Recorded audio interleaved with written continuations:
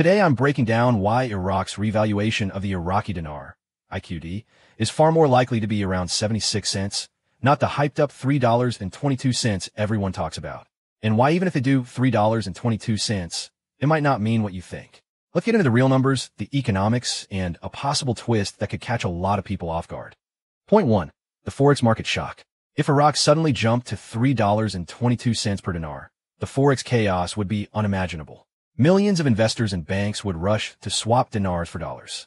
Even giants like JP Morgan, Chase, and Citibank would struggle to handle the liquidity pressure. Speculators would immediately short the dinar, betting it would crash back down, just like what happened to the Indian rupee during past currency attacks. At 76 cents, though, it's a smart number, high enough to stabilize Iraq's economy and reward investors, but low enough to prevent Forex market meltdown.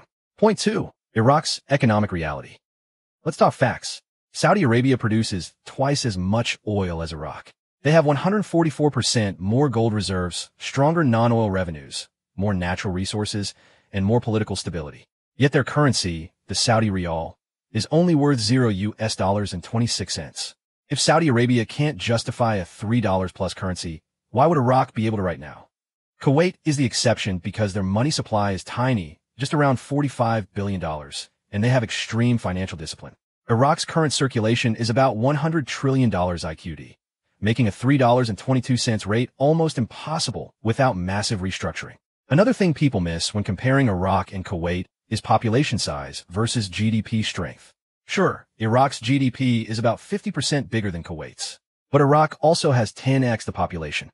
When you break it down, Iraq's GDP is about 586,667% of its citizen number. Kuwait's GDP is about 3,596,555% of its citizen number. In simple terms, Kuwait generates far more economic output per citizen. They have half Iraq's GDP, but only 10% of Iraq's population. This is why Kuwait can afford strong infrastructure, stable social programs, and maintain a $3 plus currency. Iraq, on the other hand, would need a massive increase in revenue efficiency to match that level. Higher numbers don't mean better. Economic efficiency and low corruption are the real factors that make a currency strong.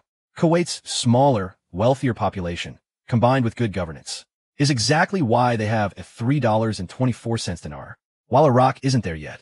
Point 3. Circulation problems. Right now, Iraq has around 100 trillion IQD in circulation.